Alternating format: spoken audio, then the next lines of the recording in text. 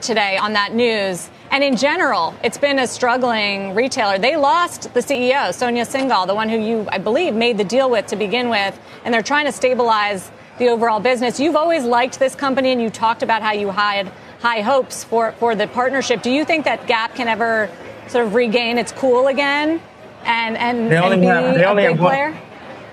They only have one opportunity to be able to be a big player. What do you think it is?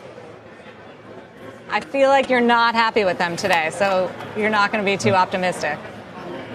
No, I'm saying they have one individual on the planet that could save the gap.